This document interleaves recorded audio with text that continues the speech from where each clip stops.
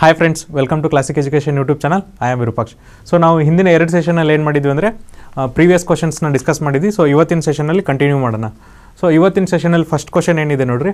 First question simple interest ಮೇಲೆ ಇದೆ.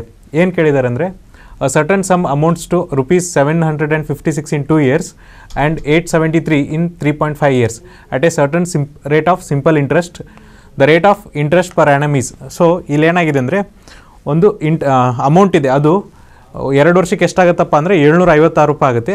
ಅದೇ ಮೂರುವರೆ ವರ್ಷಕ್ಕೆ ಎಷ್ಟಾಗುತ್ತೆ ಅಂದರೆ ಎಂಟುನೂರ ಎಪ್ಪತ್ತ್ಮೂರು ರೂಪಾಯಿ ಆಗುತ್ತೆ. ಹಾಗಾದರೆ ಪ್ರತಿ ವರ್ಷ ಅದರ ರೇಟ್ ಆಫ್ ಇಂಟ್ರೆಸ್ಟ್ ಎಷ್ಟು? ಬಡ್ಡಿ ಎಷ್ಟಿದೆ ಅಂತ ಕೇಳ್ತಾರೆ. ಸೊ ಇದು ಸರಳ ಬಡ್ಡಿ ಪ್ರಾಬ್ಲಮ್ ಆಗಿರೋದ್ರಿಂದ ನಾವು ನಾರ್ಮಲ್ ಮೆಥಡಲ್ಲೇ ಮಾಡೋಣ. ಸೊ ಫಸ್ಟ್ ನೋಡಿರಿ, ಅದು ಮೂರುವರೆ ವರ್ಷದಲ್ಲಿ ಎಷ್ಟಾಗುತ್ತೆ? Eight seventy three in three point five years ಆಗುತ್ತೆ. ಅದೇ ಎರಡು ವರ್ಷದಲ್ಲಿ ಎಷ್ಟಾಗುತ್ತೆ? Seven fifty six in two years so ಇದನ್ನು ನಾವು ಕ್ಯಾಲ್ಕುಲೇಟ್ ಮಾಡಿಕೊಂಡ್ರೆ ಸೊ ಪಿ ಟಿ ಆರ್ ಇರುತ್ತಲ್ಲ ಸಿಂಪಲ್ ಇಂಟ್ರೆಸ್ಟದ ಫಾರ್ಮುಲಾ ಪಿ ಟಿ ಆರ್ ಇರುತ್ತೆ. ಸೊ ನಾವು ಇದನ್ನು ಪಿ ಟಿ ಆರ್ ಮೈನಸ್ ಮಾಡ್ಕೊಳ್ಳೋದ್ರಿಂದ ಇ ಪಿ ಕ್ಯಾನ್ಸಲ್ ಆಗಿಬಿಡುತ್ತೆ. ಎರಡು ಕಡೆ ಪಿ ಇರೋದ್ರಿಂದ ನಮಗೆ ಬರೀ ಟಿ ಆರ್ ಅಷ್ಟೇ ಸಿಗುತ್ತೆ. ಸೊ ಇಲ್ಲಿ ನೋಡ್ರಿ, ಮೂರುವರೆ ಒಳಗೆ ಎರಡು ಕಳೆದ್ರೆ ಒಂದೂವರೆ ಉಳಿಯುತ್ತೆ. ಸೊ ಅದೇ ಥರನಾಗಿ ಹದಿಮೂರಲ್ಲಿ ಆರು ಕಳೆದ್ರೆ ಏಳು, ಕೈಲ ಬಂತು ಒಂದು, ಏಳರಲ್ಲಿ ಆರು ಕಳೆದ್ರೆ ಒಂದು, ಎಂಟರಲ್ಲಿ ಒಂದು ಕಳೆದ್ರೆ ಒಂದು. ಸೊ ನಾನೇನು ಮಾಡ್ತೀನಿ ಅಂದರೆ ಒನ್ ಸೆವೆಂಟೀನ್ ಈಕ್ವಲ್ ಟು ಈ ಒಂದೂವರೆನ three point two three by two ಅಂತ ಬರ್ಕೋತೀನಿ. ಸೊ ಎರಡೂ ಒಂದೇ ಕ್ಯಾಲ್ಕುಲೇಷನ್ ಈಸಿ ಆಗಲಿ ಅಂತ. ಸೊ ಇದು ಟೋಟಲ್ ಇಯರ್ಸ್ ಪ್ಲಸ್ ಇಂಟ್ರೆಸ್ಟ್ ಎಷ್ಟಾಗುತ್ತೆ ಅಂದರೆ ತ್ರೀ ಪಾಯಿಂಟ್ ಟು ಒಂದೂವರೆ ವರ್ಷಕ್ಕೆ ಒನ್ ಸೆವೆಂಟೀನ್ ಆಗುತ್ತೆ. ಹಾಗಾದರೆ ಒಂದು ವರ್ಷಕ್ಕೆ ಎಷ್ಟಾಗುತ್ತೆ ಕಂಡಿಡಿರಿ ಸೊ ಒಂದು ವರ್ಷಕ್ಕೆ ಎಷ್ಟಾಗುತ್ತೆ ಅಂದರೆ one one seven is equal to three point two ಇಯರ್ಸಿಗಾದರೆ ಒಂದು ವರ್ಷಕ್ಕೆ ಎಷ್ಟು? ಸೊ ಕ್ರಾಸ್ ಮಲ್ಟಿಪ್ಲೈ ಮಾಡ್ತೀನಿ. One one seven into two divided by three into one so ಇಲ್ಲಿ ನೋಡಿರಿ, ಮೂರು ಒಂದಲೇ, ಮೂರು ಮೂರಲೇ, ಒಂಬತ್ತು, ಎರಡು ಉಳಿತು. ಮೂರೊಂಬತ್ತಲೇ ಇಪ್ಪತ್ತೇಳು. ಸೊ ಮೂವತ್ತೊಂಬತ್ತು ಇಂಟು ಎರಡು ಎಷ್ಟಾಗುತ್ತೆ ಅಂದರೆ ಎಪ್ಪತ್ತೆಂಟಾಗುತ್ತೆ. ಸೊ ಒಂದು ವರ್ಷಕ್ಕೆ ಎಷ್ಟು ಬಡ್ಡಿ ಆಗುತ್ತೆ ಅಂದರೆ ಎಪ್ಪತ್ತೆಂಟು ರೂಪಾಯಿ ಬಡ್ಡಿ ಆಗುತ್ತೆ. ಬಟ್ ನಮಗಿಲ್ಲಿ ಏನು ಕೇಳಿದ್ದಾರೆ ಅಂದರೆ ಎರಡು ವರ್ಷದ ಕೊಟ್ಟಿದ್ದಾರೆ. ಸೊ ಹಾಗಾಗಿ ನಾವೇನು ಮಾಡೋಣ, ಎರಡು ವರ್ಷಕ್ಕೆ ಎಷ್ಟಾಗುತ್ತೆ ನೋಡೋಣ. ಅವಾಗ ನಮ್ಗೆ ಏನು ಸಿಗುತ್ತೆ? ಅಸಲು ಸಿಗುತ್ತೆ. ಈಗ ಬರೀ ನಮ್ಗೆ ಏನು ಸಿಕ್ಕಿದೆ ಅಂದರೆ ಒಂದು ವರ್ಷಕ್ಕೆ ಎಷ್ಟು ಬಡ್ಡಿ ಅಂತ ಸಿಗುತ್ತೆ. ಸೊ ಈ ಇದೇನಿದೆ? ಅಮೌಂಟ್ ಇದೆ. ಈ ಅಮೌಂಟಲ್ಲಿ ನಾವೇನಾದರೂ ಆ ಬಡ್ಡಿನ ಕಳೆದುಬಿಟ್ರೆ ಎರಡು ವರ್ಷದ್ದು ನಮಗೆ ಅಸಲು ಸಿಗುತ್ತೆ. ಸೊ ಹಾಗಾಗಿ ಒಂದು ವರ್ಷಕ್ಕೆ ಎಪ್ಪತ್ತೆಂಟಾದರೆ ಎರಡು ವರ್ಷಕ್ಕೆ ಎಷ್ಟಾಗುತ್ತೆ? ನೂರ ಐವತ್ತಾರು ರೂಪಾಯಿ ಆಗುತ್ತೆ. ಸೊ ನೋಡಿರಿ, ಏಳ್ನೂರ ಐವತ್ತಾರು ರೂಪಾಯಲ್ಲಿ ನೀವು ನೂರ ಐವತ್ತಾರು ರೂಪಾಯಿ ಕಳೆದ್ರೆ ಎಷ್ಟು ಉಳಿಯುತ್ತೆ? ಸಿಕ್ಸ್ ಹಂಡ್ರೆಡ್ ರುಪೀಸ್ ಉಳಿಯುತ್ತೆ. ಸೊ ಅಸಲು ಎಷ್ಟಿದೆಪ್ಪ ಅಂದರೆ ಸಿಕ್ಸ್ ಹಂಡ್ರೆಡ್ ಇದೆ. ಬಟ್ ಒಂದು ವರ್ಷಕ್ಕೆ ಬಡ್ಡಿ ಎಷ್ಟಾಗುತ್ತೆ ಅಂದರೆ ಎಪ್ಪತ್ತೆಂಟು ರೂಪಾಯಿ ಆಗುತ್ತೆ. ಹಾಗಾದರೆ ರೇಟ್ ಆಫ್ ಇಂಟ್ರೆಸ್ಟ್ ಅಂದರೆ ಬಡ್ಡಿ ದರ ಎಷ್ಟು? ಅದನ್ನು ಯಾವ ಥರ ಕ್ಯಾಲ್ಕುಲೇಟ್ ಮಾಡ್ತೀರಾ? ಬಡ್ಡಿ ದರ ನಾವು ಯಾವ ಥರ ಕಲೆಕ್ಟ್ ಕ್ಯಾಲ್ಕುಲೇಟ್ ಮಾಡ್ತೀವಿ ಅಂದರೆ ಒಂದು ವರ್ಷಕ್ಕೆ ಎಷ್ಟಾಗುತ್ತೆ? ಎಪ್ಪತ್ತೆಂಟು ರೂಪಾಯಿ ಆಗುತ್ತೆ. ಅಸಲು ಎಷ್ಟಿದೆ? ಸಿಕ್ಸ್ ಹಂಡ್ರೆಡ್ ರುಪೀಸ್ ಇದೆ. ಇಂಟು ಹಂಡ್ರೆಡ್ ಮಾಡಿದ್ರೆ ನಮ್ಮ ಬಡ್ಡಿ ದರ ಸಿಗುತ್ತೆ. ಸೊ ಇಲ್ಲಿ ಎರಡು ಸೊನ್ನೆ ಇಲ್ಲೆರಡು ಸೊನ್ನೆ ಕ್ಯಾನ್ಸಲ್ ಆಗುತ್ತೆ. ಆರು ಒಂದ್ಲೆ ಆರು ಒಂದ್ಲೆ. ಸೊ ಇಲ್ಲಿ ಒಂದು ಉಳೀತು. ಸೊ ಹದಿನೆಂಟಾಯಿತು ಆರು ಮೂರಲೆ, ಹದಿನೆಂಟು. ಸೊ ಬಡ್ಡಿ ದರ ಎಷ್ಟಿದೆ ಅಂದರೆ ತರ್ಟೀನ್ ಪರ್ಸೆಂಟ್ ಇದೆ. ನೆಕ್ಸ್ಟ್ ಕ್ವಶನ್ ನೋಡಿರಿ ನೆಕ್ಸ್ಟ್ ಕ್ವಶನ್ ಏನಿದೆ? Two concentric circles with radii of P centimetre and P plus two centimetre are drawn on a paper the difference between their areas is forty four square centimetre what is the value of P take pi as twenty two by seven ಅಂದರೆ ಏನು ಮಾಡಿದ್ದಾರೆ? ಎರಡು concentric circle ಈ ಥರದ circles ಇದೆ concentric circles ಇದೆ. ಒಂದರದ್ದು radius ಎಷ್ಟಿದೆ? ಪಿ ಸೆಂಟಿಮೀಟರ್ ಇದೆ. ಇನ್ನೊಂದ್ರದ್ದು ರೇಡಿಯಸ್ ಎಷ್ಟಿದೆ? ಪಿ ಪ್ಲಸ್ ಟು ಸೆಂಟಿಮೀಟರ್ ಅಂತ ಹೇಳಿದ್ದಾರೆ. ಇಲ್ಲೇನಾಗಿದೆ ಅಂದರೆ ಈ ಏರಿಯಾ ಮತ್ತು ಈ ಏರಿಯಾದ ಮಧ್ಯೆ ಇರೋ ಡಿಫ್ರೆನ್ಸ್ ಎಷ್ಟಿದೆ ಅಂದರೆ ಫೋರ್ಟಿ ಫೋರ್ ಸ್ಕ್ವೇರ್ ಸೆಂಟಿಮೀಟ್ರ್ ಇದೆ. ಹಾಗಾದರೆ ಪಿಯ ಬೆಲೆ ಎಷ್ಟು ಅಂತ ಕೇಳಿದ್ದಾರೆ. ಸೊ ನಿಮಗೆಲ್ಲ ವೃತ್ತದ ಏರಿಯಾ ಫಾರ್ಮುಲಾ ಗೊತ್ತಿದೆ. ಏನಪ್ಪ ಅಂದರೆ area equal to pi R square ಅಂತ ಇದೆ. ಸೊ ನಾವೇನು ಮಾಡೋಣ? ದೊಡ್ಡ ಸರ್ಕಲಿಂದ ಸಣ್ಣ ಸರ್ಕಲ್ ಏರಿಯಾ ಮೈನಸ್ ಮಾಡಿದಾಗ ನಮಗೆ ಈ ರಿಮೈನಿಂಗ್ ಏರಿಯಾ ಸಿಗುತ್ತೆ. ಸೊ ಅದು ಎಷ್ಟಿದೆ? ಫೋರ್ಟಿ ಫೋರ್ ಸೆಂಟಿಮೀಟ್ರ್ ಇದೆ. ಸೊ ನೋಡಿರಿ. Forty four centimetre equal to pi R square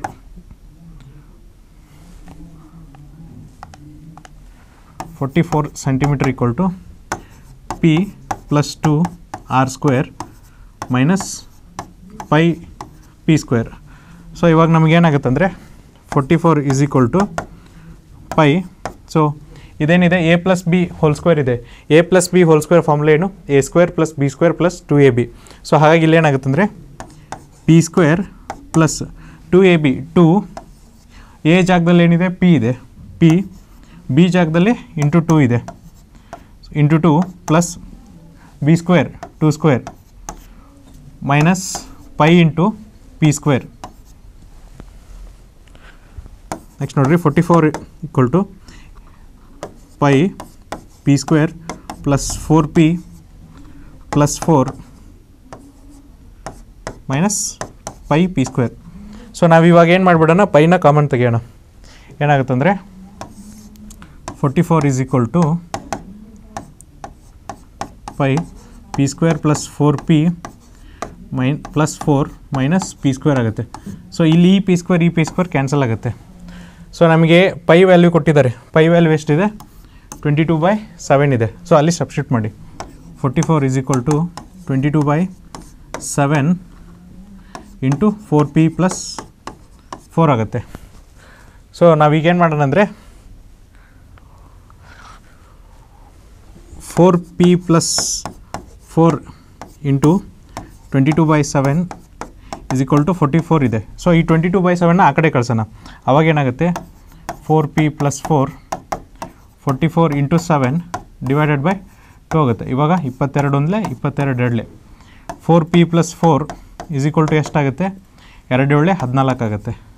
So four P equal to ಹತ್ತಾಗುತ್ತೆ P equal to two point five centimetre ಆಗುತ್ತೆ. ಸೊ ಇಲ್ಲಿ ನಮ್ದು ಆಪ್ಷನ್ ಯಾವುದಾಗುತ್ತೆ ಅಂದರೆ ಆಪ್ಷನ್ ನಂಬರ್ ಡಿ ಆಗುತ್ತೆ. ಸೊ ನೆಕ್ಸ್ಟ್ ಕ್ವಶನ್ ನೋಡ್ರಿ. Square with a maximum possible side is drawn in a circle of radius twelve centimetre what is the area of square so ಒಂದು ಏನು ಮಾಡಿದ್ದಾರೆ ಅಂದರೆ, ಒಂದು ಚೌಕಣ ತೆಗೆದಿದ್ದಾರೆ. ಯಾವುದ್ರೊಳಗೆ? ವೃತ್ತದೊಳಗೆ ಒಂದು ಚೌಕಣ ತೆಗೆದಿದ್ದಾರೆ. ಸೊ ಆ ವೃತ್ತದ ರೇಡಿಯಸ್ ಎಷ್ಟಿದೆಯಪ್ಪ ಅಂದರೆ ಟ್ವೆಲ್ ಸೆಂಟಿಮೀಟರ್ ಇದೆ. ಹಾಗಾದರೆ ಆ ಚೌಕದ ಚೌಕದ ಏರಿಯಾ ಎಷ್ಟು ಅಂತ ಕೇಳಿದ್ದಾರೆ. ಸೊ ಫಸ್ಟು ಒಂದು ವೃತ್ತ ತಗೊಳ್ಳೋಣ ವೃತ್ತದಲ್ಲಿ ಏನು ಮಾಡಿದ್ದಾರೆ? ಚೌಕ ಪಾಸಿ ಮ್ಯಾಕ್ಸಿಮಮ್ ಪಾಸಿಬಲ್ ಸೈಡ್ ಅಂದಾಗ ನಾವು ಈ ಥರ ತೆಗಿತೀವಿ. ಸೊ ಆಮೇಲೆ ಏನು ಮಾಡಿದ್ದಾರೆ ಅಂದರೆ, ಈ ವೃತ್ತದ ರೇಡಿಯಸ್ ಎಷ್ಟಿದೆಯಪ್ಪ ಅಂದರೆ ಟ್ವೆಲ್ ಸೆಂಟಿಮೀಟ್ರ್ ಇದೆ. ಓಕೆ ಹಾಗಾದರೆ what is the area of ಈ ಚೌಕದ ವಿಸ್ತೀರ್ಣ ಎಷ್ಟು ಅಂತ ಕೇಳಿದ್ದಾರೆ. ಸೊ ನಾವೇನು ಮಾಡ್ಬಿಟ್ನ, ಇದನ್ನು ಇಲ್ಲಿ ಜಾಯಿನ್ ಮಾಡೋಣ. ಈಗ ಏನಾಗುತ್ತೆ? ಡಯಾಗ್ನೋಲ್ ಆಗುತ್ತೆ. ಸೊ ಇದು ಟ್ವೆಲ್ ಸೆಂಟಿಮೀಟರ್ ಆದರೆ ಇದು ಕೂಡ ಟ್ವೆಲ್ವ್ ಇರುತ್ತೆ. ಹಾಗಾಗಿ ಏನಾಗುತ್ತೆ ಅಂದರೆ ಇದು ಟ್ವೆಂಟಿ ಫೋರ್ ಆಗುತ್ತೆ. ಸೊ ನಮಗೆಲ್ಲ ಪೈತಾಗೋರಸ್ ಸ್ಥಿರಂ ಗೊತ್ತಿದೆ. ಏನಪ್ಪ ಅಂದರೆ ಒಂದು ಲಂಬಗೋಣ ತ್ರಿಭುಜದಲ್ಲಿ ಈ ಸ್ಕ್ವೇ ಈ ಡಯಾಗ್ನೋಲ್ ಸ್ಕ್ವೇರ್ ಈಕ್ವಲ್ ಟು ಏನಾಗುತ್ತೆ ಅಂದರೆ ಇ ಸ್ಕ್ವೇರ್ ಪ್ಲಸ್ ಈ ಸ್ಕ್ವೇರ್ ಆಗುತ್ತೆ. ಸೊ ಹಾಗಾಗಿ ಏನಾಗುತ್ತೆ ಅಂದರೆ ಇಲ್ಲಿ ನೋಡಿರಿ, ಇದನ್ನು ಎ ಬಿ ಸಿ ಅಂತ ನೇಮ್ ಮಾಡಿರಿ. ಸೊ ಚೌಕದ ವಿಸ್ತೀರ್ಣದೇನು ಬಾಹು ಇಂಟು ಬಾಹು. ಸೊ ಈ ಎರಡು ಬಾಹುದ್ ನಾವು ಏನಾದರೂ ಕಂಡುಹಿಡಿದು ಬಿಟ್ರೆ ಸಾಕು. ಬಾಹು ಇಂಟು ಬಾಹು ಏನಾಗುತ್ತೆ? ಚೌಕದ ವಿಸ್ತೀರ್ಣ ಫಾರ್ಮುಲಾ ಆಗುತ್ತೆ. ಸೊ ಇದು ಲಂಬಕೋಣ ತ್ರಿಭುಜ ಇರೋದ್ರಿಂದ ನಾವು ಡಿಫ್ರೆಂಟ್ ಮೆಥಡಲ್ಲಿ ಮಾಡೋಣ. ಸೊ ಇವಾಗ ಏನಾಗುತ್ತೆ? ಪೈಥಾಗೋರಸ್ ಥೆರಮ್ ಪ್ರಕಾರ A B square is equal to A C square plus B C square ಆಗುತ್ತೆ. ಸೊ ನಮಗೆ ಎ ಬಿ ಸ್ಕ್ವೇರ್ ಗೊತ್ತಿದೆ. ಎಷ್ಟಿದೆ? Twelve plus twelve twenty four square ಇದೆ. ಸೊ ನಮಗೆ ಎ ಬಿ ಮತ್ತು ಎ ಸಿ ಗೊತ್ತಿಲ್ಲ. ಬಟ್ ಏನಂದರೆ ಇದನ್ನು ಎಕ್ಸ್ ಅಂತ ತೊಗೊಳ್ಳೋಣ. ಯಾಕಂದರೆ ಚೌಕದ ನಾಲ್ಕು ಬಾಹುಗಳು ಸೇಮ್ ಇರುತ್ತೆ. X square plus X square ಅಂತ ತೊಗೊಳ್ಳೋಣ. ಸೊ ಟ್ವೆಂಟಿ ಫೋರ್ ಸ್ಕ್ವೇರ್ ಎಷ್ಟಾಗುತ್ತೆ? ಸೆವೆನ್ ಫೈ ಸೆವೆಂಟಿ ಸಿಕ್ಸ್ ಆಗುತ್ತೆ. So X square plus X square ಎಷ್ಟಾಗುತ್ತೆ? ಟು ಎಕ್ಸ್ ಸ್ಕ್ವೇರ್ ಆಗುತ್ತೆ. ಸೊ ನಮಗೇನು ಬೇಕು? ಎಕ್ಸ್ ಸ್ಕ್ವೇರ್ ಬೇಕು. ಸೊ ಹಾಗಾಗಿ ಏನು ಮಾಡೋಣ? X square equal to five seventy six divided by two ಮಾಡೋಣ. ಎರಡು ಒಂದಲೇ ಎರಡು ಎರಡಲೆ ನಾಲ್ಕಾಯಿತು. ಒಂದು ಉಳಿತು ಹದಿನೇಳು ಎರಡು ಎಂಟ್ಲೆ ಹದಿನಾರು ಮತ್ತು ಎರಡು ಎಂಟ್ಲೆ so two twenty eight square centimetre ಆಗುತ್ತೆ. ಸೊ ನೀವು ಬೇರೆ ಮೆಥಡಲ್ಲೂ ಮಾಡ್ಬೋದು ಬಟ್ ಇದು ಈಸಿ ಆಗುತ್ತೆ. ಯಾಕಂದರೆ ವೃತ್ತ ಕೊಟ್ಟಿರೋದ್ರಿಂದ ಡಯಾಗ್ನಲ್ ಗೊತ್ತಿರೋದ್ರಿಂದ ನೀವು ಈ ಥರ ಮಾಡಿದ್ರೆ ಇದನ್ನು ತುಂಬ ಸಿಂಪಲ್ಲಾಗಿ ಮಾಡ್ಬೋದು. ಸೊ ನೆಕ್ಸ್ಟ್ ಕ್ವಶನ್ ನೋಡಿರಿ. ನೆಕ್ಸ್ಟ್ ಕ್ವಶನ್ ಏನಿದೆ? Four by seven of eight by nine of into seven by eight into one eighty of one one by nine is equal to ಅಂತ ಕೇಳಿದ್ದಾರೆ. ಸೊ ಇದನ್ನು ಸಿಂಪಲ್ಲಾಗಿ ಸಾಲ್ವ್ ಮಾಡ್ಬೋದು. ಯಾವ ಥರ ಅಂದರೆ ಕೊಟ್ಟಿರೋ ಇಕ್ವೇಷನ್ ಆಫ್ ನೀವು ಏನು ಹಾಕ್ಬೇಕಂದ್ರೆ ಮಲ್ಟಿಪ್ಲಿಕೇಶನ್ ಚಿಹ್ನೆ ಹಾಕಬೇಕಾಗತ್ತೆ. ಸೊ ಮಲ್ಟಿಪ್ಲಿಕೇಶನ್ ಚಿಹ್ನೆ ಹಾಕಿ ಇಲ್ಲಿ ಕೂಡ ಮಲ್ಟಿಪ್ಲಿಕೇಶನ್ ಚಿಹ್ನೆ ಕೊಟ್ಟಿದ್ದಾರೆ. Into one eighty into one by nine so ಇಲ್ಲಿ ಸಾಲ್ವ್ ಮಾಡ್ತಾ ಹೋಗಿ. ಸೊ ನೋಡಿ, ಇಲ್ಲಿ ಎಂಟಿದೆ ಇಲ್ಲಿ ಎಂಟಿದೆ ಕ್ಯಾನ್ಸಲ್ ಆಗುತ್ತೆ. ಇಲ್ಲಿ ಏಳಿದೆ ಇಲ್ಲಿ ಏಳಿದೆ ಕ್ಯಾನ್ಸಲ್ ಆಗುತ್ತೆ. ಸೊ ಒಂಬತ್ತು ಒಂದಲೇ ಒಂಬತ್ತು ಎರಡಲೇ. ಎಷ್ಟಾಯಿತು? ಹದಿನೆಂಟು, ಇಪ್ಪತ್ತಾಯಿತು. ಸೊ ಇವಾಗ ನೋಡಿರಿ ಏನು ಉಳೀತು? ಇಲ್ಲಿ ನಾಲ್ಕು ಇಂಟು ಇಪ್ಪತ್ತು ಡಿವೈಡೆಡ್ ಬೈ ಒಂಬತ್ತು ಉಳಿತು. ಸೊ ಉತ್ತರ ಎಷ್ಟು ಬರುತ್ತೆ? ಎಂಬತ್ತು ಡಿವೈಡೆಡ್ ಬೈ ಉತ್ ಒಂಬತ್ತು.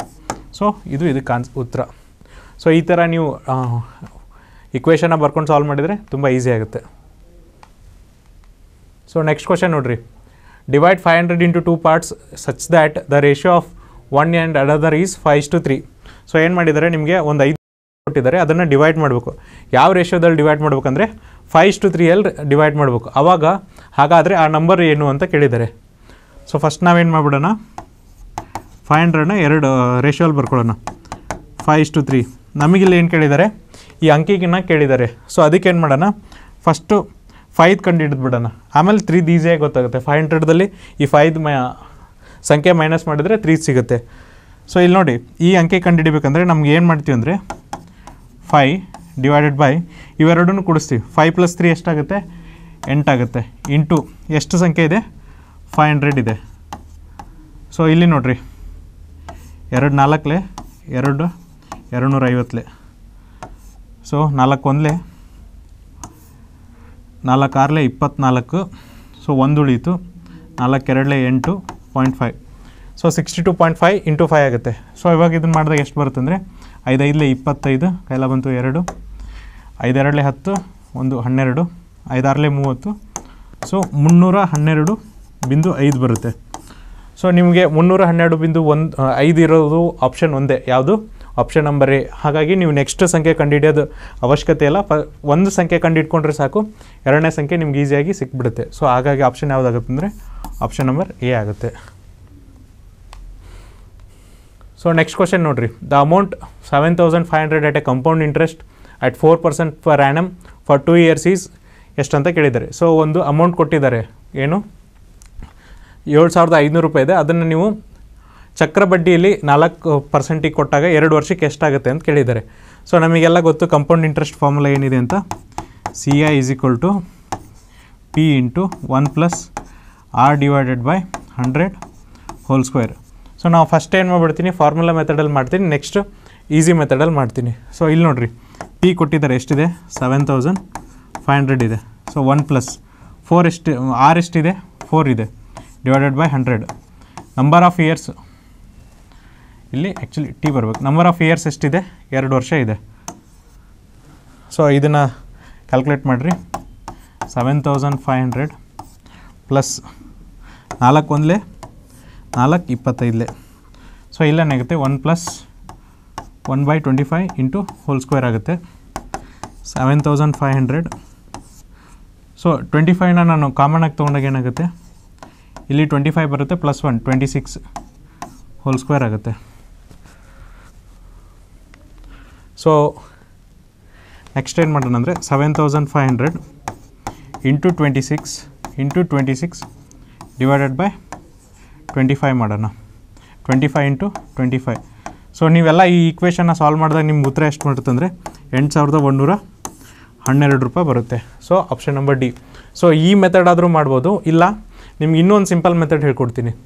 ಯಾವ ಥರ ಅಂದರೆ, ನೋಡ್ರಿ, ಏನು ಕೊಟ್ಟಿದ್ದಾರೆ? ಕಂಪೌಂಡ್ ಇಂಟ್ರೆಸ್ಟ್ದು ಕ್ವಶನ್ ಕೇಳಿದ್ದಾರೆ. ಫಸ್ಟು ಅಸಲು ಎಷ್ಟಿದೆ? Seven thousand five hundred so ಒಂದು ವರ್ಷಕ್ಕೆ ಎಷ್ಟಾಗುತ್ತೆ? ಸೆವೆನ್ ತೌಸಂಡ್ ಫೈವ್ ಹಂಡ್ರೆಡಿಗೆ ಅಸ್ ನಮ್ಮದು ಬಡ್ಡಿ ಅಂದರೆ ಫೋರ್ ಪರ್ಸೆಂಟಿಗೆ ಹಿಡಿದ್ರೆ ಒನ್ ಪರ್ಸೆಂಟಿಗೆ ಸೆವೆಂಟಿ ಫೈವ್ ಆಗುತ್ತೆ. ಎರಡು ಪರ್ಸೆಂಟಿಗೆ ಒನ್ ಫಿಫ್ಟಿ ಆಗುತ್ತೆ. ಸೊ ಹಾಗಾಗಿ ಮೂರು ಪ ನಾಲ್ಕು ಪರ್ಸೆಂಟಿಗೆ ಎಷ್ಟಾಗುತ್ತೆ ಅಂದರೆ ತ್ರೀ ಹಂಡ್ರೆಡ್ ರುಪೀಸ್ ಆಗುತ್ತೆ.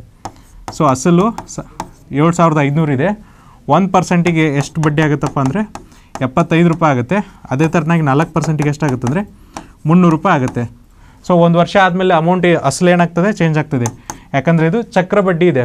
ಸೊ ಪ್ರತಿ ವರ್ಷ ಬಡ್ಡಿ ಆ್ಯಡ್ ಆಗ್ತಾ ಹೋಗುತ್ತೆ. ಏಳು ಸಾವಿರದ ಐದುನೂರು ಪ್ಲಸ್ ಮುನ್ನೂರು ಎಷ್ಟಾಯಿತು? ಏಳು ಸಾವಿರದ ಎಂಟುನೂರು ಆಯಿತು. ಸೊ ನೆಕ್ಸ್ಟ್ ವರ್ಷ ಏನಂದರೆ, ಇನ್ನೊಂದು ವರ್ಷದ ಬಡ್ಡಿ ತೊಗೋರಿ. ಯಾಕಂದರೆ ಎರಡು ವರ್ಷದ ಕೇಳಿದ್ದಾರೆ ಅಮೌಂಟು ಸೊ ಇಲ್ಲಿ ಒಂದು ವರ್ಷಕ್ಕೆ ನಿಮ್ಗೆ ಎಷ್ಟು ಬರುತ್ತೆ?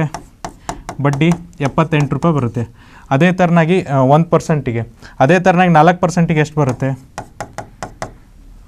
ಏಳು ನಾಲ್ಕಲೆ, ಎಂಟು ನಾಲ್ಕಲೆ ಮೂವತ್ತೆರಡು ನಾಲ್ಕೆಂಟ್ಲೆ ಮೂವತ್ತೆರಡು ನಾಲ್ಕೇಳು ಇಪ್ಪತ್ತೆಂಟು ಒಂದು. ಮುನ್ನೂರ ಹನ್ನೆರಡು ರೂಪಾಯಿ ಬರುತ್ತೆ. ಸೊ ಇಲ್ಲಿ ನಿಮಗೆ ನೆಕ್ಸ್ಟ್ ವರ್ಷ ಬಡ್ಡಿ ಎಷ್ಟು ಬರುತ್ತೆ ಅಂದರೆ ಮುನ್ನೂರ ಹನ್ನೆರಡು ಬರುತ್ತೆ. ಸೊ ನೀವು ಏಳು ಸಾವಿರದ ಎಂಟುನೂರು ರೂಪಾಯಿಗೆ ಮುನ್ನೂರ ಹನ್ನೆರಡು ರೂಪಾಯಿನ ಸೇರಿಸಿದ್ರೆ ಎಷ್ಟಾಗುತ್ತೆ? ಎರಡು, ಒಂದು, ಎಂಟು, ಮೂರು, ಹನ್ನೊಂದು ಬಂತು ಒಂದು. ಎಂಟು ಸಾವಿರದ ಒನ್ನೂರ ಹನ್ನೆರಡು ರೂಪಾಯಿ ಬರುತ್ತೆ. ಸೊ ನೀವು ಈ ಮೆಥಡಲ್ಲಿ ಮಾಡಿದ್ರೆ ಇನ್ನೂ ಈಸಿಯಾಗಿ ಮಾಡ್ಬೋದು.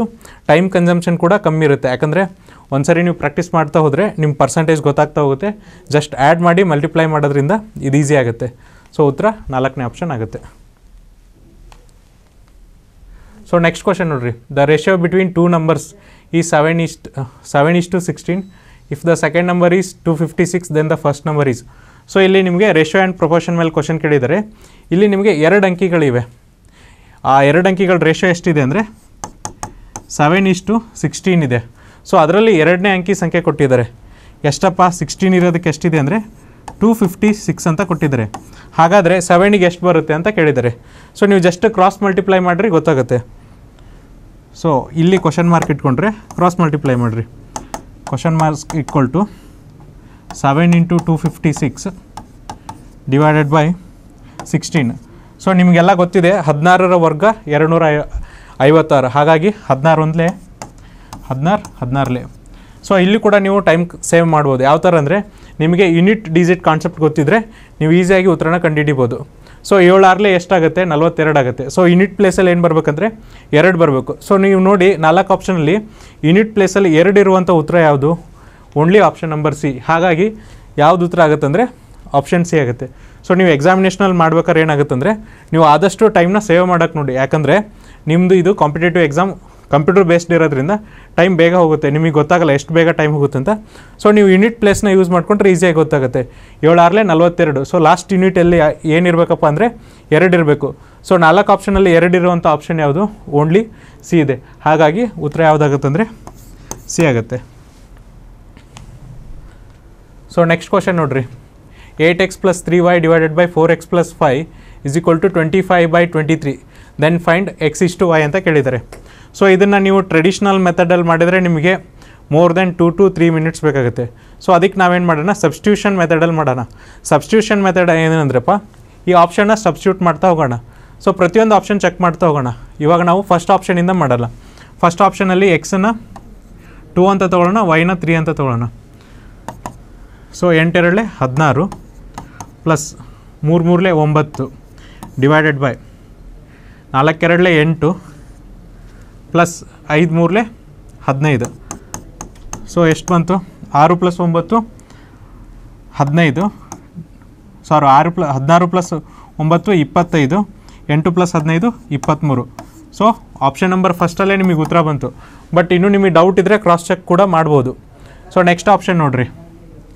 ಎಂಟೆರಡಲೆ ಹದಿನಾರು, ಐದು ಮೂರಲೆ ಹದಿನೈದು.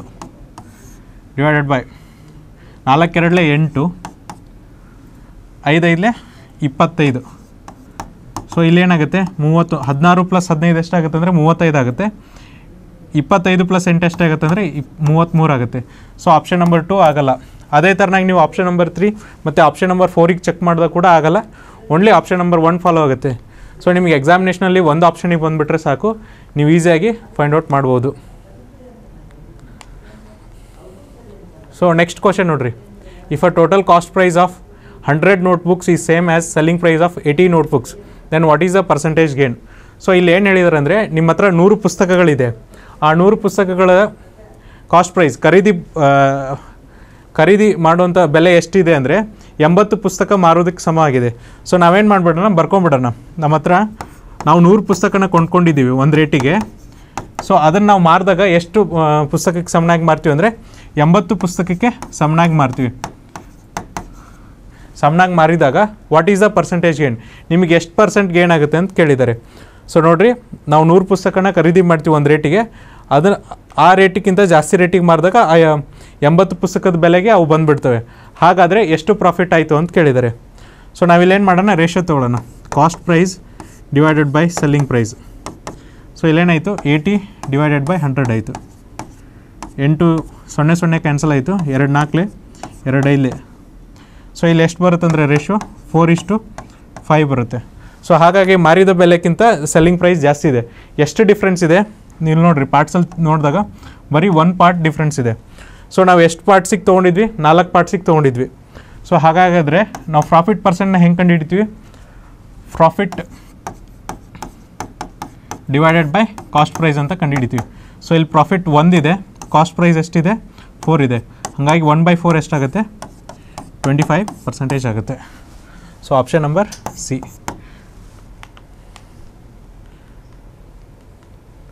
so next question ನೋಡ್ರಿ.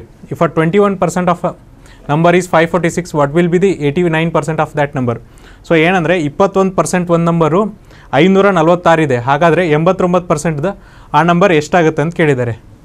ಸೊ ಟ್ವೆಂಟಿ ಒನ್ ಪರ್ಸೆಂಟ್ ಒಂದು ಸಂಖ್ಯೆ ಟ್ವೆಂಟಿ ಒನ್ ಪರ್ಸೆಂಟ್ ಎಷ್ಟಿದೆಯಪ್ಪ ಅಂದರೆ ಫೈವ್ ಫೋರ್ಟಿ ಸಿಕ್ಸ್ ಇದೆ. ಹಾಗಾದರೆ ಏಯ್ಟಿ ನೈನ್ ಪರ್ಸೆಂಟ್ ಅದೇ ಸಂಖ್ಯೆದು ಏನಾಗುತ್ತೆ ಅಂತ ಕೇಳಿದ್ದಾರೆ. ಸೊ ಜಸ್ಟ್ ಕ್ರಾಸ್ ಮಲ್ಟಿಪ್ಲೈ ಮಾಡಿರಿ.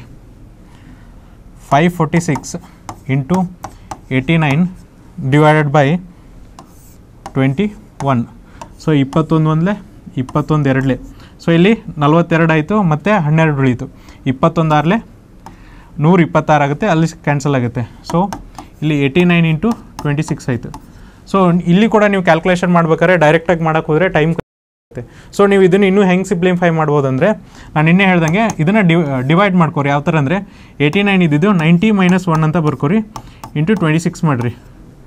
ಸೊ ನಿಮಗೇನಾಗುತ್ತೆ? ಟ್ವೆಂಟಿ ಸಿಕ್ಸ್ ನೈನ್ಸ ಎಷ್ಟು ಅಂದರೆ ಎರಡು ನೂರ ಮೂವತ್ತ್ನಾಲ್ಕು ಆಗುತ್ತೆ. Minus twenty six into one ಇಪ್ಪತ್ತಾರು ಆಗುತ್ತೆ. ಸೊ ನೀವು ಎರಡು ಸಾವಿರದ ಮುನ್ನೂರ ನಲ್ವತ್ತರಲ್ಲಿ ಇಪ್ಪತ್ತಾರು ಕಳೆದ್ರೆ ಎಷ್ಟು ಬರುತ್ತೆ ಅಂದರೆ ಎರಡು ಸಾವಿರದ ಮುನ್ನೂರ ಹದಿನಾಲ್ಕು ರೂಪಾಯಿ ಬರುತ್ತೆ.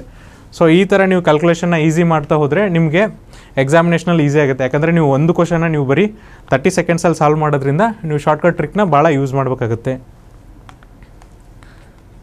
ಸೊ ನೆಕ್ಸ್ಟ್ ಕ್ವಶನ್ ನೋಡಿರಿ. Thirty percent can do a piece of work in twenty four minutes twenty four days how many more people are required to complete the same work in twenty days so ಇಲ್ಲಿ ಏನು ಮಾಡ್ತಾರೆ ಅಂದರೆ ಮೂವತ್ತು ಜನ ಒಂದು ಕೆಲಸವನ್ನು ಇಪ್ಪತ್ನಾಲ್ಕು ದಿನದಲ್ಲಿ ಕಂಪ್ಲೀಟ್ ಮಾಡ್ತಾರೆ. ಸೊ ಅದೇ ಕೆಲಸನ ನೀವೇನಾದರೂ ಇಪ್ಪತ್ತು ದಿನದಲ್ಲಿ ಕಂಪ್ಲೀಟ್ ಮಾಡ್ಬೇಕಾದ್ರೆ ಇನ್ನೂ ಎಷ್ಟು ಹೆಚ್ಚಿಗೆ ಜನ ಬೇಕಂತ ಕೇಳಿದ್ದಾರೆ. ಸೊ ನಮಗೆ ಗೊತ್ತಿದೆ ಟೋಟಲ್ ವರ್ಕ್ ಡನ್ ತೊಗೊಂಬಿಡೋಣ ಫಸ್ಟು ಟೋಟಲ್ ವರ್ಕ್ ಡನ್ ತೊಗೊಂಡಾಗ ಮೂವತ್ತು ಜನ ಒಂದು ಕೆಲಸನ ಎಷ್ಟು ದಿನದಲ್ಲಿ ಮಾಡ್ತಾರೆ? ಇಪ್ಪತ್ನಾಲ್ಕು ದಿನದಲ್ಲಿ ಮಾಡ್ತಾರೆ. ಸೊ ಅದೇ ಕೆಲಸನ ನೆಕ್ಸ್ಟ್ ಎಷ್ಟು ದಿನದಲ್ಲಿ ಮಾಡಬೇಕು? ಇಪ್ಪತ್ತು ದಿನದಲ್ಲಿ ಮಾಡ್ಬೇಕಂದಾಗ ನಾವೇನು ಮಾಡ್ತೀವಿ ಅಂದರೆ total work done divided by total work ಡನ್ನಲ್ಲಿ ಏನಿರುತ್ತೆ ಅಂದರೆ number of mens into number of days ಇರುತ್ತೆ. ಸೊ ಇದು ಫಸ್ಟ್ ಇಕ್ವೇಷನಿಗೆ ಆಯಿತು ನೆಕ್ಸ್ಟ್ ಇಕ್ವೇಷನ್ದು ಟೋಟಲ್ ವರ್ಕ್ ಡನ್ ಸೇಮ್ ಇರುತ್ತೆ. ಬಟ್ ಇಲ್ಲಿ ಏನಂದರೆ ತರ್ಟಿ ಇದ್ದಲ್ಲಿ ನಾವು ಎಕ್ಸ್ ಅಂತ ತೊಗೊಳ್ಳೋಣ. ಯಾಕಂದರೆ ನಮಗೆ ಗೊತ್ತಿಲ್ಲ ಎಷ್ಟು ಜನ ಬೇಕಂತೇಳಿ. ಇಂಟು ಎಷ್ಟು ದಿನದಲ್ಲಿ ಕಂಪ್ಲೀಟ್ ಮಾಡ್ತಾರೆ? ಟ್ವೆಂಟಿ ಡೇಸಲ್ಲಿ ಕಂಪ್ಲೀಟ್ ಮಾಡ್ತಾರೆ. ಸೊ ಎರಡು ಇಕ್ವೇಷನ್ನ ನೀವು ಕಂಪ್ಯಾರಿಸನ್ ಮಾಡಿದಾಗ thirty into twenty four equal to x into twenty so ಇಲ್ಲಿ ಎಕ್ಸ್ ಬೆಲೆ ಎಷ್ಟಾಗುತ್ತೆ ಅಂತ ನೋಡಿರಿ. Thirty into twenty four divided by twenty ಸೊನ್ನೆ ಸೊನ್ನೆ ಕ್ಯಾನ್ಸಲ್ ಆಗುತ್ತೆ. ಎರಡು ಒಂದಲೇ, ಎರಡು ಹನ್ನೆರಡಲೆ. ಹನ್ನೆರಡು ಮೂರಲೆ ಮೂವತ್ತಾರು. ಸೊ ಆ ಕೆಲಸನ ಕಂಪ್ಲೀಟ್ ಮಾಡೋಕ್ಕೆ ನಮಗೆ ಎಷ್ಟು ಜನ ಬೇಕಂದರೆ ಮೂವತ್ತಾರು ಜನ ಬೇಕು. ಬಟ್ ಆನ್ಸರ್ ಮೂವತ್ತಾರಲ್ಲ. ಅವ್ರೇನು ಕೇಳಿದರೆ? ಎಷ್ಟು ಹೆಚ್ಚಿಗೆ ಜನ ಬೇಕಂತ ಕೇಳಿದ್ದಾರೆ ಎಷ್ಟು ಸಂಖ್ಯೆ ಹೆಚ್ಚಿಗೆ ಜನ ಬೇಕಂತ ಕೇಳಿದ್ದಾರೆ. ಸೊ ನಮ್ಮ ಹತ್ರ ಆಲ್ರೆಡಿ ಮೂವತ್ತು ಜನ ಇದ್ದಾರೆ. ಸೊ ಮೂವತ್ತಾರು ಜನ ಬೇಕಾದಾಗ ಮೂವತ್ತಾರಲ್ಲಿ ನೀವು ಮೂವತ್ತು ಜನ ಕಳೆದ್ರೆ ಇನ್ನೂ ಆರು ಜನ ಹೆಚ್ಚು ಬೇಕಾಗ್ತಾರೆ. ಸೊ ಆಪ್ಷನ್ ನಂಬರ್ ಏನಾಗುತ್ತೆ ಅಂದರೆ ಡಿ ಆಗುತ್ತೆ. ಸೊ ನೆಕ್ಸ್ಟ್ ಕ್ವಶನ್ ನೋಡ್ರಿ. What is the greatest number that will divide two zero nine and three four seven leaving the remainder five and seven respectively so ಇದೇನೆಂದರೆ ಮಸ ಕ್ವಶನ್ ಆಗಿದೆ. ಇಲ್ಲಿ ಎರಡು number ಇದೆ. ಯಾವುದಂದರೆ? ಎರಡು ನೂರ ಒಂಬತ್ತು ಮತ್ತು ಮುನ್ನೂರ ನಲ್ವತ್ತೇಳು ಇದ್ರನ್ನ ಇದರಲ್ಲಿ ಒಂದು ಸಂಖ್ಯೆ ಡಿವೈಡ್ ಮಾಡಿದಾಗ ಅದು ರಿಮೈಂಡರ್ ಎಷ್ಟು ಬಿಡಬೇಕಂದ್ರೆ ಎರಡುದರಲ್ಲಿ ಐದು ಮತ್ತು ಏಳು ಬಿಡಬೇಕು. ಸೊ ಇಲ್ಲಿ ನೋಡಿರಿ ಟೂ ಹಂಡ್ರೆಡ್ನ ಡಿವೈಡ್ ಮಾಡಿದಾಗ ಅದು ರಿಮೈಂಡರ್ ಎಷ್ಟು ಬಿಡುತ್ತಂದರೆ ಫೈವ್ ಬಿಡುತ್ತೆ. ಹಾಗಾಗಿ ಸಂಖ್ಯೆ ಎಷ್ಟಿರುತ್ತೆ ಅಂದರೆ ಎರಡು ನೂರ ನಾಲ್ಕು ಇರುತ್ತೆ. ಅದೇ ಥರನಾಗಿ ಮುನ್ನೂರ ನಲವತ್ತೇಳನ್ನು ಡಿವೈಡ್ ಮಾಡಿದಾಗ ಅಲ್ಲಿ ಎಷ್ಟು ನಿಮಗೆ ಬಾಜ್ಯ ಉಳಿಯುತ್ತೆ ಅಂದರೆ ಏಳು ಉಳಿಯುತ್ತೆ. ಹಾಗಾಗಿ ಸಂಖ್ಯೆ ಮುನ್ನೂರ ನಲವತ್ತಾಗುತ್ತೆ ಸೊ ನೀವು ಎರಡರದ್ದು ಮೋಸ ಹಾಕೊಂಡು ಹಿಡಿದ್ರೆ ನಿಮಗೆ ಗ್ರೇಟೆಸ್ಟ್ ಇಂಟೀಜರ್ ಸಿಗುತ್ತೆ. ಸೊ ನಾವು ಮೋಸನ ನಾರ್ಮಲ್ ಮೆಥಡಲ್ಲಿ ಮಾಡಿದರೆ ನಮ್ಗೆ ಎಷ್ಟು ಬರುತ್ತೆ ಅಂದರೆ ಸಿಕ್ಸ್ಟಿ ಏಯ್ಟ್ ಬರುತ್ತೆ. ಬಟ್ ಇಲ್ಲಿ ಆಪ್ಷನಲ್ಲಿ ಸಿಕ್ಸ್ಟಿ ಏಯ್ಟ್ ಇಲ್ಲ. ಸೊ ಗಾಬರಿ ಆಗಿಬಿಡ್ರಿ. ಸಿಕ್ಸ್ಟಿ ಏಯ್ಟ್ ಸಿಕ್ಸ್ಟಿ ಏಯ್ಟ್ನ ಯಾವುದು ಡಿವೈಡ್ ಮಾಡ್ಬೋದು ಇದು ನಾಲ್ಕು ಸಂಖ್ಯೆಯಲ್ಲಿ? ಟ್ವೆಂಟಿ ತ್ರೀ ಡಿವೈಡ್ ಮಾಡಲ್ಲ. ಯಾಕಂದರೆ ಇಪ್ಪತ್ತ್ಮೂರು ಮೂರಲೆ ಅರವತ್ತು ಒಂಬತ್ತಾಗುತ್ತೆ ಹದಿನಾರೂ ಆಗಲ್ಲ. ಹದಿನಾರು ನಾಲ್ಕಲೇ ಅರವತ್ತ್ನಾಲ್ಕು ಆಗುತ್ತೆ. ಹದಿನೇಳು ನಾಲ್ಕಲೇ ಅರವತ್ತೆಂಟು ಆಗುತ್ತೆ. ಸೊ ಹಾಗಾಗಿ ಆಪ್ಷನ್ ಡಿ ಆಗುತ್ತೆ. ಇದೇನಾಗುತ್ತೆ? ಹತ್ತೊಂಬತ್ತರದ್ದು ಹತ್ತೊಂಬತ್ತು ಮೂರಲೇ ಐವತ್ತೇಳು. ಸೊ ನೆಕ್ಸ್ಟ್ ಡಿಜಿಟು ಜಾಸ್ತಿ ಆಗುತ್ತೆ. ಹತ್ತೊಂಬತ್ತು ನಾಲ್ಕಲೇ ಎಪ್ಪತ್ತಾರು ಆಗುತ್ತೆ. ಆಗಲ್ಲ. ಸೊ ಆಪ್ಷನ್ ಯಾವುದಾಗುತ್ತೆ ಅಂದರೆ ಆಪ್ಷನ್ ನಂಬರ್ ಡಿ ಆಗುತ್ತೆ. ಸೊ ನೆಕ್ಸ್ಟ್ ಕ್ವಶನ್ ನೋಡ್ರಿ. What value should come in place of the question mark in the following question so ಇದು ತುಂಬ ಸಿಂಪಲ್ ಇದೆ.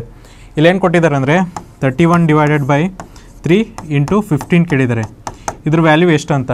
ಸೊ ನಾವು ಬಾಡೋಮೆಸ್ ಮೆಥಡಲ್ಲೇ ಮಾಡಬೇಕು ಬಟ್ ಇನ್ ಕೇಸ್ ನಿಮಗೆ ಸೈಮಲ್ಟೇನಿಯಸ್ ಆಗಿ ಡಿವಿಷನ್ ಮಲ್ಟಿಪ್ಲಿಕೇಶನ್ ಇದ್ದರೆ ನೀವು ಕ್ರಾಸ್ ಮಾಡಿದರೂ ನಡೆಯುತ್ತೆ. ಸೊ ಇಲ್ಲಿ ಮೂರು ಒಂದಲೇ, ಮೂರು ಸೊ ಇಲ್ಲಿ ಮೂವತ್ತೊಂದು ಇಂಟು ಐದು ಮಾಡಿದಾಗ ಎಷ್ಟಾಗುತ್ತೆ?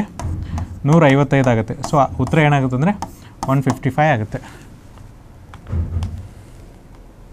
ಸೊ ನೆಕ್ಸ್ಟ್ ಕ್ವಶನ್ ನೋಡ್ರಿ. The speed of a ship still in water is five kilometre per hour and the speed of a stream is two kilometre per hour Rohan rows to a place at at a of twenty one kilometre and comes back to the starting point the total time is taken by him so ಇಲ್ಲೇನಂದರೆ ಇದು ಮತ್ತು ನಿಮ್ದು boat ಮತ್ತು stream ಮೇಲೆ questions ಇದೆ. ಇಲ್ಲಿ ರೋಹನ್ ಇಲ್ಲಿ ಬೋಟಿನ speed ಎಷ್ಟಿದೆಪ್ಪ ಅಂದರೆ, ಐದು ಕಿಲೋಮೀಟ್ರ್ ಪರ್ ಅವರ್ ಇದೆ. ನೀರಿನ ಹರಿವಿನ ಸ್ಪೀಡ್ ಎಷ್ಟಿದೆ ಅಂದರೆ, ಎರಡು ಕಿಲೋಮೀಟ್ರ್ ಇದೆ. ಸೊ ರೋಹನ್ ಅನ್ನೋ ವ್ಯಕ್ತಿ ಏನು ಮಾಡ್ತಾನೆ ಅಂದರೆ, ಒಂದು ಸ್ಥಳಕ್ಕೆ ಹೋಗ್ತಾನೆ. ಅದು ಎಷ್ಟು ದೂರ ಇರುತ್ತೆ ಅಂದರೆ, ಇಪ್ಪತ್ತೊಂದು ಕಿಲೋಮೀಟ್ರ್ ದೂರ ಇರುತ್ತೆ. ಸೊ ಆ ಸ್ಥಳಕ್ಕೆ ಹೋಗಿ ಮತ್ತೆ ವಾಪಸ್ ಬರ್ತಾನೆ. ಅವನು ವಾಪಸ್ ಬಂದಾಗ ಟೋಟಲ್ ಟೈಮ್ ಎಷ್ಟು ಕನ್ಸ್ಯೂಮ್ ಮಾಡ್ತಾನೆ ಅಂತ. ಸೊ ಈಗ ವಾಟರ್ ಬೋಟ್ ಸ್ಪೀಡ್ ಎಷ್ಟಿದೆ ನೋಡ್ರಿ? Boat speed five kilometre boat speed five kilometre per hour ಇದೆ. ವಾಟರ್ ಸ್ಪೀಡ್ ಎಷ್ಟಿದೆ? ಟೂ ಕಿಲೋಮೀಟರ್ ಪರ್ ಅವರ್ ಇದೆ. ಸೊ ರೋಹನ್ ಅನ್ನೋ ವ್ಯಕ್ತಿ ಏನು ಮಾಡ್ತಾನೆ? ಇಲ್ಲಿಂದ ಇಪ್ಪತ್ತೊಂದು ಕಿಲೋಮೀಟ್ರ್ ದೂರ ಹೋಗ್ತಾನೆ. ದೂರ ಹೋಗಿ ಮತ್ತೆ ವಾಪಸ್ ಬರ್ತೇನೆ. ಹಾಗಾದರೆ ಒಟ್ಟು ತೆಗೆದುಕೊಂಡ ಸಮಯ ಎಷ್ಟು ಅಂತ ಕೇಳಿದ್ದಾರೆ. ಸೊ ಇಲ್ಲಿ ಎರಡು ಥರ ಬರುತ್ತೆ. ಒಂದು ಅಪ್ ಸ್ಟ್ರೀಮ್ ಮತ್ತು ಡೌನ್ ಸ್ಟ್ರೀಮ್ ನೀವು ಯಾವುದಾದ್ರೂ ಕನ್ಸಿಡರ್ ಮಾಡಿರಿ. ನೀವು ಅಪ್ ಸ್ಟ್ರೀಮ್ ಆದರೂ ಫಸ್ಟ್ ತೊಗೋಬೋದು ಅಥವಾ ಡೌನ್ ಸ್ಟ್ರೀಮ್ ಆದರೂ ಫಸ್ಟ್ ತೊಗೋಬೋದು ಸೊ ನಾನೇನು ಮಾಡ್ತೀನಿ? ಫಸ್ಟು ಡೌನ್ ಸ್ಟ್ರೀಮನ್ನೇ ತೊಗೋತೀನಿ. ಸೊ ರೋಹನ್ ಏನು ಮಾಡ್ತಾನೆ? ಇಪ್ಪತ್ತೊಂದು ಕಿಲೋಮೀಟ್ರ್ ಡೌನ್ ಸ್ಟ್ರೀಮಿಗೆ ಹೋಗ್ತಾನೆ. ಸೊ ಅವಾಗ ಏನಾಗುತ್ತೆ? ಈ ಬೋಟ್ ಸ್ಪೀಡು ಮತ್ತು ವಾಟರ್ ಸ್ಪೀಡು ಆ್ಯಡ್ ಆಗುತ್ತೆ.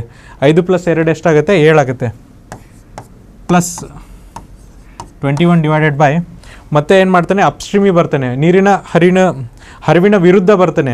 ಹರಿವಿನ ವಿರುದ್ಧ ಬಂದಾಗ ಏನಾಗುತ್ತೆ ಅಂದರೆ ಈ ಬೋಟ್ ಸ್ಪೀಡ್ ಕಮ್ಮಿ ಆಗುತ್ತೆ. ಐದರಲ್ಲಿ ಎರಡು ಹೋದ್ರೆ ಎಷ್ಟು ಬರುತ್ತೆ ಅಂದರೆ, ಮೂರು ಕಿಲೋಮೀಟ್ರ್ ಬರುತ್ತೆ. ಸೊ ಇಲ್ಲಿ ನೋಡಿರಿ, ನಿಮಗೆ ಗೊತ್ತಿದೆ. ಏನಂದರೆ ಟೈಮ್ ಫಾರ್ಮುಲಾ ಏನಂದರೆ distance divided by speed so ಏಳು ಒಂದಲೇ, ಏಳು ಮೂರಲೇ ಮೂರು ಒಂದಲೇ, ಮೂರು ಏಳಲೆ ಸೊ ತ್ರೀ ಪ್ಲಸ್ ಸೆವೆನ್ ಎಷ್ಟು ಅವರ್ ಆಯ್ತಪ್ಪ ಅಂದರೆ ಟೆನ್ ಅವರ್ ಟೈಮ್ ಆಗುತ್ತೆ. So option number B so last question ನೋಡ್ರಿ. ಏನು ಹೇಳಿದ್ದಾರೆ? The average of first ten prime number is so first ಹತ್ತು ಅವಿಭಾಜ್ಯ ಸಂಖ್ಯೆಗಳ ಎವರೇಜ್ ಎಷ್ಟು ಅಂತ ಕೇಳಿದ್ದಾರೆ. ಸೊ ನಿಮಗೆ ಫಸ್ಟು ಗೊತ್ತಿರಬೇಕು, ಅವಿಭಾಜ್ಯ ಸಂಖ್ಯೆಗಳಂದರೆ ಏನು ಅಂತ. ಅವಿಭಾಜ್ಯ ಸಂಖ್ಯೆಗಳಂದರೆ ಆ ಸಂಖ್ಯೆ ಅದರಿಂದ ಮಾತ್ರ ಡಿವೈಡ್ ಆಗುತ್ತಲ್ಲ, ಅಂಥದಕ್ಕೆ ಮಾ ಅದರಿಂದ ಮತ್ತೆ ಒಂದರಿಂದ ಡಿವೈಡ್ ಆಗೋದಕ್ಕೆ ನಾವೇನಂತ ಕರಿತೀವಿ ಅಂದರೆ ಅವಿಭಾಜ್ಯ ಸಂಖ್ಯೆಗಳಂತ ಕರಿತೀವಿ. ಸೊ ಒಂದರಿಂದ ನೂರವರೆಗೆ ನಿಮಗೆ ಅವಿಭಾಜ್ಯ ಸಂಖ್ಯೆಗಳು ನೆನಪಿದ್ರೆ ಈ ಕ್ವಶನ್ನ ಈಸಿಯಾಗಿ ಸಾಲ್ವ್ ಮಾಡ್ಬೋದು. ಸೊ ಒಂದರಿಂದ ನೂರವರೆಗೆ ಇರುವಂಥ ಅವಿಭಾಜ್ಯ ಸಂಖ್ಯೆಗಳು ನೋಡಿರಿ. ಸೊ ಒಂದು ಅವಿಭಾಜ್ಯ ಸಂಖ್ಯೆ ಅಲ್ಲ. ಸೊ ಫಸ್ಟ್ ಅವಿಭಾಜ್ಯ ಸಂಖ್ಯೆ ನಮಗೆ ಬರೋದಂದರೆ ಟೂ ಬರುತ್ತೆ. ಸೊ ಎರಡು ಏನಂದರೆ ಅವಿಭಾಜ್ಯ ಸಂಖ್ಯೆ. ಸಮ ಸಂಖ್ಯೆಯಲ್ಲಿ ಬರುವಂಥ ಒಂದೇ ಒಂದು ಅವಿಭಾಜ್ಯ ಸಂಖ್ಯೆ ಯಾವುದಪ್ಪ ಅಂದರೆ ಎರಡು ನೆಕ್ಸ್ಟ್ ಮೂರು, ಆಮೇಲೆ ಐದು. ಆಮೇಲೆ ಏಳು, ಒಂಬತ್ತಾಗಲ್ಲ, ಯಾಕಂದರೆ ಒಂಬತ್ತು ಮೂರಲ್ಲೇ ಡಿವೈಡ್ ಆಗುತ್ತೆ. ನೆಕ್ಸ್ಟ್ ಬರೋದು ಹನ್ನೊಂದು, ಹದಿಮೂರು ಹದಿನೈದು ಆಗಲ್ಲ ಐದು ಮೂರಲೇ ಹದಿನೈದು, ಹದಿನೇಳು, ಹತ್ತೊಂಬತ್ತು. ನೆಕ್ಸ್ಟ್ ಇಪ್ಪತ್ತೊಂದು ಆಗಲ್ಲ ಏಳು ಮೂರಲೇ ಇಪ್ಪತ್ತೊಂದು ಇಪ್ಪತ್ತ್ಮೂರು ಆಗುತ್ತೆ. ಇಪ್ಪತ್ತೈದು ಆಗಲ್ಲ ಐದೈದಲೇ ಇಪ್ಪತ್ತೈದು, ಇಪ್ಪತ್ತೇಳು ಆಗಲ್ಲ ಒಂಬತ್ತು ಮೂರಲೆ ಇಪ್ಪತ್ತೇಳು ಸೊ ಇಪ್ಪತ್ತೊಂಬತ್ತಾಗುತ್ತೆ ಆಮೇಲೆ ಮೂವತ್ತು ಒಂದಾಗುತ್ತೆ ಮೂವತ್ತ್ಮೂರು ಆಗಲ್ಲ ಮೂರಲೇ ಡಿವೈಡ್ ಆಗುತ್ತೆ, ಮೂವತ್ತೈದು ಆಗಲ್ಲ. ಮೂವತ್ತೊಂಬತ್ತು ಆಗಲ್ಲ? ಮೂವತ್ತೇಳು ಆಗುತ್ತೆ. ನೆಕ್ಸ್ಟ್ ನಲವತ್ತೊಂದು ನಲವತ್ತ್ಮೂರು ನಲವತ್ತೇಳು. ಆಮೇಲೆ ಏನು ಬರುತ್ತೆ ಅಂದರೆ ಐವತ್ತೊಂದು ಆಗಲ್ಲ. ಯಾಕಂದರೆ? ಐವತ್ತೊಂದು ಮೂರಲ್ಲೇ ಡಿವೈಡ್ ಆಗುತ್ತೆ. ಸೊ ಫಸ್ಟ್ ಬರೋದೇ ಐವತ್ತ್ಮೂರು ಆಮೇಲೆ ಐವತ್ತೊಂಬತ್ತು. ಆಮೇಲೆ ಅರವತ್ತೊಂದು, ಅರವತ್ತೇಳು. ಅರವತ್ತೇಳು ನೆಕ್ಸ್ಟ್ ಎಪ್ಪತ್ತೊಂದು ಎಪ್ಪತ್ತ್ಮೂರು ಎಪ್ಪತ್ತೊಂಬತ್ತು ನೆಕ್ಸ್ಟ್ ಎಂಬತ್ತ್ಮೂರು ಎಂಬತ್ತೊಂಬತ್ತು ಲಾಸ್ಟ್ ತೊಂಬತ್ತೇಳು. ಸೊ ಇದು ಒಂದರಿಂದ ನೂರವರೆಗಿರುವಂಥ ಅವಿಭಾಜ್ಯ ಸಂಖ್ಯೆಗಳು. ಸೊ ನೀವನ್ನ ಯಾವ ಥರ ನೆನ್ಪಿಟ್ಕೋತೀರಾ? ಯಾಕಂದರೆ ನಿಮಗೆ ಎಕ್ಸಾಮಿನೇಷನಲ್ಲಿ ನೆನಪಾಗಲ್ಲ. ಸೊ ಇದನ್ನು ನೀವು ಒಂದು ಮೊಬೈಲ್ ನಂಬರ್ ಥರನೂ ನೆನ್ಪಿಟ್ಕೋಬೋದು. ಯಾವ ಥರ ಅಂದರೆ? Double four double two three double two three two one so ಈ ಥರ ನೀವು ನೆನ್ಪಿಟ್ಕೊಂಡ್ರೆ ಈಸಿ ಆಗುತ್ತೆ. Double four double two three double two three two one so ಈ ಥರ ನೀವು ನೆನ್ಪಿಟ್ಕೊಂಡ್ರೆ ಒಂದರಿಂದ ನೂರವರೆಗಿನ ಅವಿಭಾಜ್ಯ ಸಂಖ್ಯೆಗಳು ನೆನಪಾಗುತ್ತೆ. ಸೊ ನಮಗೇನು ಕೇಳಿದರೆ ಮೊದಲ ಹತ್ತು ನಂಬರ್ಗಳು ಸೊ ಮೊದಲ ಹತ್ತು ನಂಬರ್ಗಳಂದರೆ ಇಲ್ಲಿವರೆಗೂ. ಇದ್ರದ್ದು ಆ್ಯಾವ್ರೇಜ್ ಎಷ್ಟು ಅಂತ ಕೇಳಿದ್ದಾರೆ ಸೊ ನಿಮಗೆ ಗೊತ್ತು ಆ್ಯಾವ್ರೇಜ್ ಫಾರ್ಮುಲಾ ಏನಂದರೆ ಇದನ್ನೆಲ್ಲನೂ ಕೂಡಿಸ್ಬೇಕು divided by sum of the numbers divided by total numbers so sum ಮಾಡ್ತಾ ಹೋಗೋಣ. ಎರಡು ಪ್ಲಸ್ ಮೂರು ಐದು ಐದು ಪ್ಲಸ್ ಐದು ಹತ್ತು ಹತ್ತು ಪ್ಲಸ್ ಏಳು ಹದಿನೇಳು ಹದಿನೇಳು ಪ್ಲಸ್ ಹನ್ನೊಂದು, ಇಪ್ಪತ್ತೆಂಟು ಇಪ್ಪತ್ತೆಂಟು ಪ್ಲಸ್ ಹದಿಮೂರು, ನಲವತ್ತೊಂದು ನಲವತ್ತೊಂದು ಪ್ಲಸ್ ಹದಿನೇಳು ಐವತ್ತು ಎಂಟು ಐವತ್ತೆಂಟು ಪ್ಲಸ್ ಹತ್ತೊಂಬತ್ತು ಎಪ್ಪತ್ತೇಳು ಎಪ್ಪತ್ತೇಳು ಪ್ಲಸ್ ಇಪ್ಪತ್ತ್ಮೂರು ನೂರಾಗುತ್ತೆ. ನೂರು ಪ್ಲಸ್ ಇಪ್ಪತ್ತೊಂಬತ್ತು, ನೂರು ಇಪ್ಪತ್ತೊಂಬತ್ತು ಆಗುತ್ತೆ. ಸೊ ಹಾಗಾಗಿ ನಮ್ಮ ಆನ್ಸರ್ ಏನಾಗುತ್ತೆ ಅಂದರೆ one twenty nine divided by ten ಆಗುತ್ತೆ. ಸೊ ಟೆನ್ ಇರೋದ್ರಿಂದ ನೀವು ಅಲ್ಲೊಂದು ಪಾಯಿಂಟ್ ಇಟ್ಟರೆ ಸಾಕು. ಟ್ವೆಲ್ ಪಾಯಿಂಟ್ ನೈನ್ ಆಗುತ್ತೆ. ಸೊ ಮೇನ್ ನೀವು ನೆನ್ಪಿಟ್ಕೋಬೇಕಾಗಿರೋದು ಒಂದರಿಂದ ನೂರವರೆಗಿನ ಅವಿಭಾಜ್ಯ ಸಂಖ್ಯೆಗಳು. ಸೊ ನೀವು ಈ ಫಾರ್ಮುಲಾನೇ ನೆನ್ಪಿಟ್ಕೋರಿ double four double two three double two three two one so ಈ ಥರ ನೀವು ಮೊಬೈಲ್ ಸಂಖ್ಯೆ ನೆನ್ಪಿಟ್ಕೊಳ್ಳೋದ್ರಿಂದ ನಿಮಗೆ ಅವಿಭಾಜ್ಯ ಸಂಖ್ಯೆಗಳು ನೆನ್ಪುಳಿಯುತ್ತೆ. ಸೊ ನೀವು ಒಂದ್ಸರಿ ಅವಿಭಾಜ್ಯ ಸಂಖ್ಯೆಗಳನ್ನ ನೆನ್ಪಿಟ್ಕೊಂಡ್ರೆ ಸಾಕು. ಈಸಿಯಾಗಿ ಈ ಕ್ವಶನ್ನ ಸಾಲ್ವ್ ಮಾಡ್ಬೋದು. ಸೊ ಇಲ್ಲಿ ಉತ್ತರ ಏನಾಗುತ್ತೆ ಅಂದರೆ ಟ್ವೆಲ್ ಪಾಯಿಂಟ್ ನೈನ್ ಆಗುತ್ತೆ. ಸೊ ಇದಾಗಿತ್ತು ಈ ಸೆಷನ್ನ ಕ್ವಶನ್ ಆನ್ಸರ್ ಸೊ ನೆಕ್ಸ್ಟ್ ಸೆಷನಲ್ಲಿ ನಾನು ಮತ್ತೆ ನೆಕ್ಸ್ಟ್ ಇಯರ್ ಕ್ವಶನ್ ಪೇಪರ್ ತೊಗೊಂಬರ್ತೀನಿ. ಸೊ ಅಲ್ಲಿವರೆಗೂ ನೋಡ್ತಾ ಇರಿ classic education YouTube channel thank you